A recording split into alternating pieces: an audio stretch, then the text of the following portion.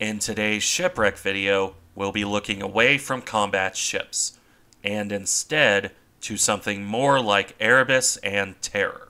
If you recall that video, those were two amazingly preserved Arctic exploration vessels. They were abandoned in 1848, although their exact time of sinking is more of an open question. Today's wreck, Endurance, was lost decades later, in late 1915, in the Antarctic Sea, on a similar expedition into cold waters. Fortunately, while Endurance would be lost, her expedition was not a tragedy. It was, if you'll pardon the pun, a feat of legendary endurance, both on the part of the men stranded in Antarctica, and for the men who sailed into dangerous waters to find rescue. With all that said, I will be focusing on endurance for this video, as well as the ultimate fate of the expedition. An expedition that began in the mind of one Ernest Shackleton. He was already a famed Antarctic explorer. However, he was also an unsatisfied one. Shackleton felt there was more he could do, and while he wouldn't be the first to reach the South Pole, the man had another idea. Instead of just reaching the pole, he wanted to traverse it. The first overland crossing of Antarctica. An ambitious plan by all accounts. To perform this expedition, Shackleton would ultimately purchase a 300 ton vessel named Polaris. He purchased her in January 1914 after the original owner went bankrupt. This ship was brand new and purpose designed for Arctic voyages. In this, Polaris's Norwegian builders had done their job well. The bow was heavily reinforced to take impacts from ice. The keel was extra thick, and the hull frames were similarly tough. The hull sides were also exceptionally well built and made use of strong wood. Every bit of this vessel was designed to take ice and come out intact, right down to having both steam and sail propulsion. Perfect for Shackleton's needs by all accounts. Aside from one thing, after purchasing Polaris, Shackleton renamed the vessel to Endurance, apparently to match his family motto By endurance we conquer. That would hold true for the man, but not so much for the ship. In any event, with his new vessel in hand, Shackleton began his voyage as soon as Endurance was ready. For her maiden voyage, the vessel set off for Antarctica on August 8, 1914. So, right as the Great War was kicking off in Europe. Not that Shackleton let that stop him. He took Endurance south, stopping over in Argentina for supplies, before departing there on October 26, 1914. One final stopover in South Georgia came on November 5th. Endurance remained there for a month before departing for the Weddell Sea on December 5th of 1914.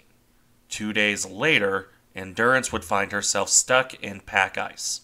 Progress slowed down, and the ship would move slowly south through the cracking ice. This was bad enough, but the ship would be stuck in a gale in January of 1915. The first bout of bad weather on January 16th forced Shackleton to shelter near an iceberg. The winds calmed down enough on January 18th to make an attempt to leave. However, the gale had not left. It returned with full force as Endurance entered more pack ice. This time, the ship would not leave.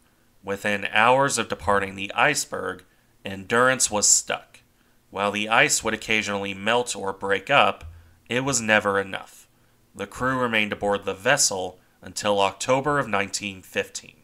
Various attempts were made to free Endurance, but they all failed, until on October 24th, the ice finally crushed the ship. Despite attempts to fight flooding, it was too late. Shackleton was forced to abandon ship on October 27th, 1915. By the next day, the ship had been crushed by the ice, and Endurance would ultimately sink entirely by November 21st. Footage of her mast collapsing and the bow being crushed was taken on November 13th. This has survived, and I'll link it in the description. As for the expedition, it would find shelter on Elephant Island, where Shackleton and five others took a lifeboat named James Caird on a legendary voyage to South Georgia. They would arrive safely and bring rescue back for the rest of the expedition. It would take several attempts, but on August 30th of 1916, they were rescued. Not one man was lost during this expedition. Endurance, however, was lost to time. The wreck would only be located two years ago as of this recording. While several attempts were made to locate her, the wreck was only discovered on March 5th, 2022, by the Endurance 22 expedition.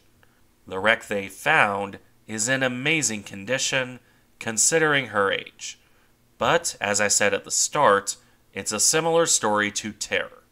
The freezing Antarctic waters have preserved the ship in a way most other areas wouldn't. This was also helped by the depth of 3,008 meters or 9,869 feet. Now, with that admittedly lengthy backstory done, let's look at the wreck. Beginning with what is, of course, the most famous picture taken of it the stern with the name Endurance still proudly fixed in place, along with the star that represents her original name, Polaris. You can see that here on the surface, both in the ice and in dock. It's amazing how well this was preserved, even accounting for the conditions. There's marine life, yes, but not much, and the wood is still perfectly intact, aside from whatever damage was caused by the ice. For example, it looks like the rudder fell away here. Beyond that, however, very little has been lost from this angle.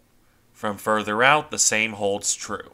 The darkness makes it harder to see below the stern, but we can now see the upper level, and the railing that has remained in place even after the ship was crushed.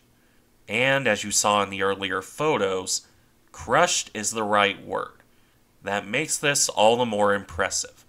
Moving further in, but still focusing on the upper level, we come to the ship's wheel. This has, much like the railing, remained firmly in place, although it seems to have picked up a passenger here. In general, the marine life up here is more apparent. It's still minimal considering the age of the wreck. However, even in these cold waters, marine life endures. Beyond that, there are a couple other notable features. For instance, what looks like chain wrapped around the wheelbase here, and a gap in the hull in the background. Those are both difficult to see in this picture, but are more apparent in the next one. What's also more apparent is the entrance into the ship. Endurance has a collapsed doorway here, including a fallen in door on the inside.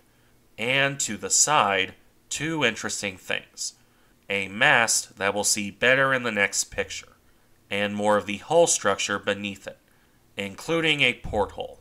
There's also a lot of scattered rope. Now for the next picture. Here we can see one major thing of note, that being, of course, the aforementioned mast, collapsed over the side where it fell over as the ice crushed Endurance. There's much more marine life here, but the mast itself is mostly intact. Naturally, we can't see where it broke, but the mast, from the platform until it vanishes in the darkness, is in one piece. Only a couple planks missing from the platform. Even that's worthwhile because it shows intact rope, still tied in place and not rotted at all. It appears that more of the rope has fallen down as well.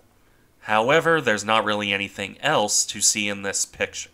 Not that we haven't already seen in the other pictures. So let's move further up the ship. As we do, I'll note something. The stern was well documented. The rest of the ship, not so much, at least in release material. Admittedly, this is because the rest of the hull was crushed badly by the ice, as you can clearly see in this picture. The deck is a ruined mess, a broken mast here, and beneath it, portholes. This would appear to be from the side of the ship, as you can see here on the surface. The position of the portholes matches up almost perfectly. There's also what looks like another mast, and it's resting atop more debris, while obscuring the detail of what look like boxes beneath it. On the other hand, the deck behind it is in decent enough shape, individual planks and all. However, we can't see far enough back to make out more detail. The same goes for the box structure here, which is just out of frame. As for the opposite side of the ship, we have broken planks, and what looks like the hull bulging out here. More evidence of the damage to endurance. Unfortunately, we don't get much better of a view. Even moving slightly ahead, it only shows more of the deck, not much else. That said, we do get another look at the deck from a different area. I'm not sure which area, but it is clearer here, although there's even less detail. There's a gaping hole here with debris covering it, as well as a hatch into the ship here, collapsed in on itself with more broken wood clogging it. I believe that the various larger pieces of wreckage, here and here, are more parts of the mast, which, if you watch the sinking footage, completely fell apart. Add in a century underwater and whatever further damage they suffered, it makes sense for the mast to be in this kind of condition. As for the deck, there's not much to say there. It's covered in everything from broken wood to scattered rope, but you can't make out individual planks in this area. Although, moving a bit further to the side, you can see the side of the hull or at least where the deck ends. There's clear mounting points visible here, but we can't see the actual side of the ship. At least not in this picture. The next set, on the other hand, shows us more. And it's not very pretty. You can see where the ice crushed endurance in right here. The hull is pressed in and badly broken, and the deck is buckled with planks coming apart at the seams. You can even make out the inner frames between the hull and the deck. Frankly, with that kind of damage, I'm amazed the hull is intact, even down to the portholes. Towards the bottom, meanwhile, you can also see the ocean bed. Endurance isn't buried deeply, but she has fallen into the silt. The next picture, for its part, is a bit further ahead. You can make out the change in the deck here and the damage isn't quite as severe, other than the split in the frames still visible to the side. However, this follows the pattern of not quite showing the full detail, so I can't say what's in the background here. In any event, this brings us to the last two pictures. First, the other famous picture, what I believe is a break towards the bow, where the ice completely tore the ship apart, leaving broken wood here along with collapsed superstructure. Yet, surprisingly enough, the anchor chain remains in its mounting, and it hasn't really rusted at all. Although that isn't surprising with the preservation of the ship in general. Something that continues with the last picture, where the funnel for the steam engine fell over into a pile of broken wood. The funnel itself, either iron or steel, is still intact as is some other framework beneath it. And the steam whistle, likely brass, is still there as well, attached to the funnel and covered in mud.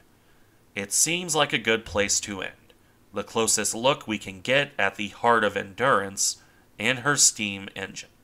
Incredibly well preserved, even after a century underwater. Thank you for watching. Remember to like, comment, and subscribe if you enjoy the content and I'll see you in the next one.